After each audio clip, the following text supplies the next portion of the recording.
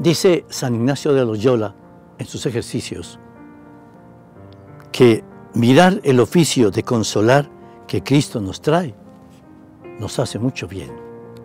Y el Evangelio es precisamente una entrega de ese cuidado, de ese consuelo que nos da el Señor. Del Evangelio de San Juan, capítulo 12, versículos 44 a 50. Cuando concluía su actividad pública, hizo Jesús esta declaración. El que cree en mí, no cree en mí, sino en el que me envió. Y el que me ve, ve al que me envió. Yo vine para hacer luz del mundo, y así el que crea en mí no quedará en tinieblas. Al que escuche mis palabras y no las obedezca, yo no lo condeno, porque no vine a condenar al mundo, sino a salvarlo. El que me rechaza y no acepta mis palabras, tiene quien lo condene.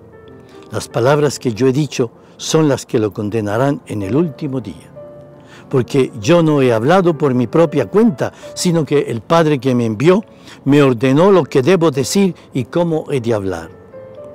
Yo sé que su mandato es vida eterna. Lo que yo hablo, lo hablo según me lo ordenó mi Padre. Palabra del Señor, gloria a ti, Señor Jesús. Es maravilloso lo que nos acaba de decir el Señor. Yo no he venido a condenar al mundo, sino a salvarlo. Por lo tanto, nuestra actitud debe ser aquella actitud de hijos que se creen amados y por lo tanto aman. Si ustedes de pronto han visto la película Marcelino, Pan y Vino, si no la han visto, la recomiendo, eh, es precisamente la historia de un chiquillo que se enamora de Jesús, ve el crucificado y le parece tan estupendo que él se enamora y dialoga como un niño con su padre. Y hay entonces una interrelación de amor. Es que cuando uno se siente no condenado, sino amado, cuando uno ve que Jesús es el derramamiento mismo del amor y de la misericordia divina, uno siente entonces la alegría de sentir el amor de Dios en todo momento y circunstancia.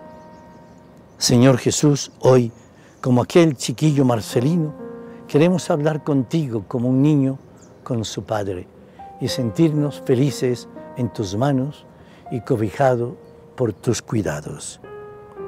Nos bendiga el Señor en el nombre del Padre, del Hijo y del Espíritu Santo. Amén.